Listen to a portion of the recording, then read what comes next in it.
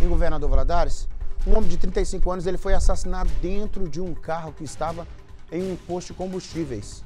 É, duas pessoas que estavam em uma moto e atiraram contra a vítima continuam sendo procuradas pela polícia. O crime, foi, o crime contra a vítima foi registrado em uma avenida no bairro Altinópolis. A reportagem está aí com o Sávio Scarabelli. Pode balançar.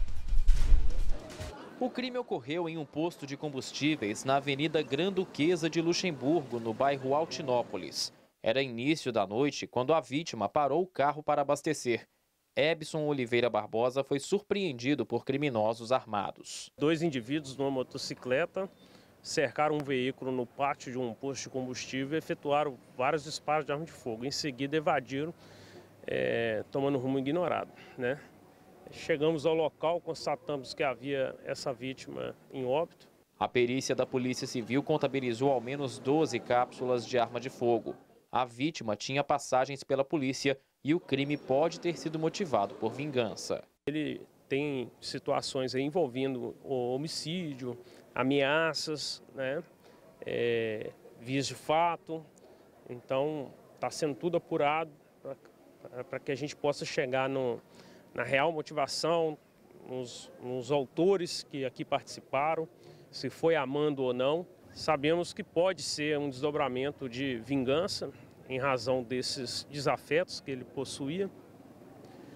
No veículo, alguns disparos, a perícia está fazendo o trabalho dela, no intuito ali de verificar algum indício, vestígio que porventura possa ser deixado. A PM tenta identificar e localizar os atiradores. O corpo foi encaminhado ao IML de Valadares e o caso será investigado. Poucas testemunhas souberam informar a rota de fuga dessa motocicleta, as vestimentas desses indivíduos. A Polícia Militar está fazendo diligência em quatro bairros que possam estar ligados aos indivíduos com quem ele possui esses desafetos, né? E verificando essas motocicletas suspeitas e veículos também. Pode ser que tenha algum veículo na escolta. É um abraço aí pro Tenente Melo, né? Um grande amigo. É o que ele contou ali, né? A, a dinâmica de alguns crimes aqui, né? É, ela, elas se dão com muita semelhança, essa questão de, da, das pessoas que são os atiradores estarem em motocicletas, né? Por isso a gente vê é, constantemente aí as motocicletas sendo é, paradas em, em blitz exatamente para um trabalho de prevenção. Nesse caso aí não tinha mais prevenção, né? É, aí é o trabalho de apuração agora para ver do que se trata realmente. Ela estava bem na, na, na, bomba, né?